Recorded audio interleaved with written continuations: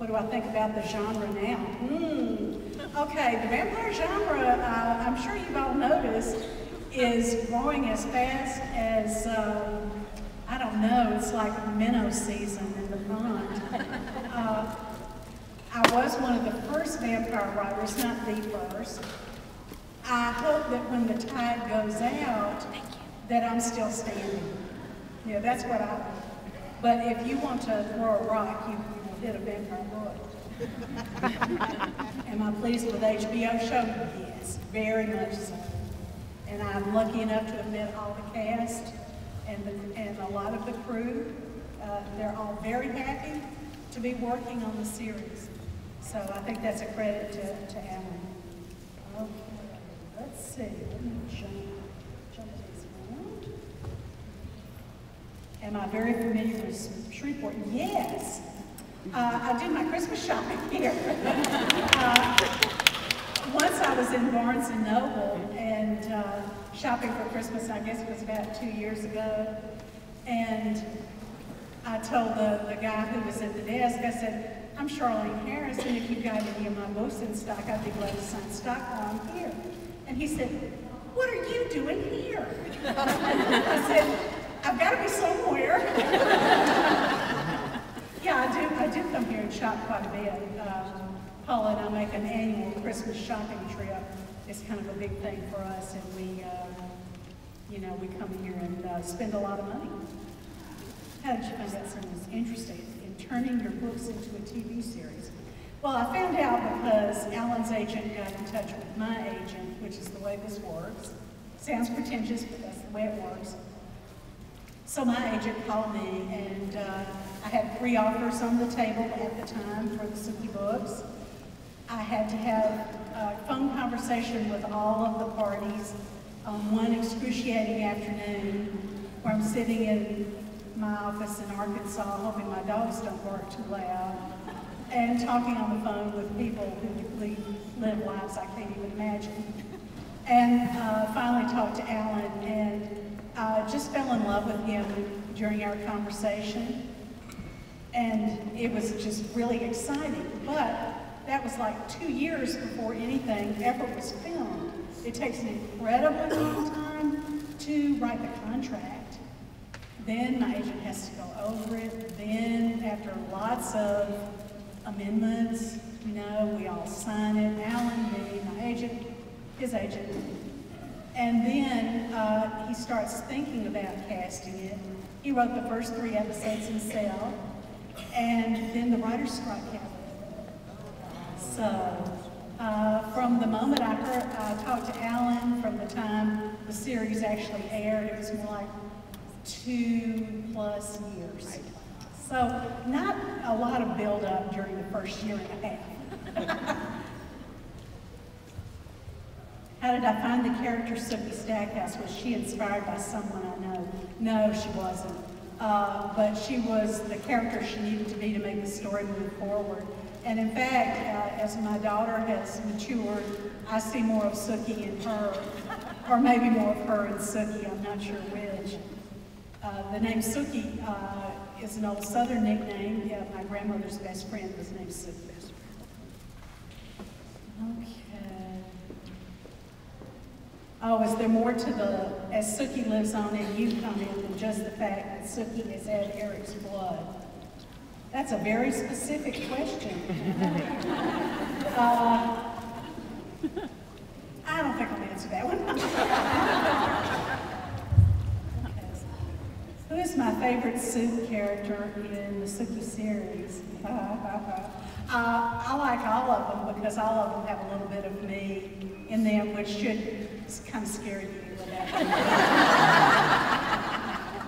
um, of course, I, there are things I love about Eric. Um, there are things I love about Pam. There are things I love about Bill. You know, I've got to love, love them all a little bit. Oh my gosh. What screenwriter software do I use? oh. I don't know. it's, yeah, it's just, uh, you know, just nothing special. In fact, uh, I would, you know, probably use a better program. Well, I write more Aurora Teagarden and Bard books. If I had more hours in the day, I would love to revisit at least Aurora. I don't think I'll ever write any more Lily books because I left her in a good place. Uh, I would really like to write another Aurora, but you know, I just don't have the time. Will Sookie go to Las Vegas? She might, you know. I haven't really made up my mind about that. Uh, it was a possibility until I read Laurell's new book, which is set in Las Vegas. I thought, well, I don't want to look like a big copycat. So, so that, that dimmed Sookie's chances of going to Las Vegas right there. What's going to happen with Dermot? Frankly, I don't know. Uh, I'll find out this book. Will I give Sam Merlotte a girlfriend? Does somebody want to be Sam's girlfriend? Yeah. uh, yes, he, does, he has a girlfriend in the next book. I have gotten that far. How do I truly feel about Alan Ball's interpretation of my books? Well, sometimes I cover my eyes. But on the whole, I feel incredibly lucky to have a genius like Alan on my side. Oh, great answer. How did I come up with the name Bon Temps? Well, I wanted a name that was kind of satirical, uh, and it seemed to me like calling a, a town like that Good Times, you know, would kind of let you know that there were going to be plenty of bad times there too. okay, I'll think I'm out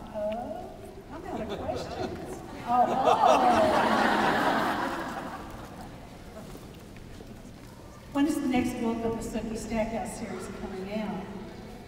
Do I already know how the novels will end? Yes, I do know how the novels will end. I have known that since sometime after I wrote the first book.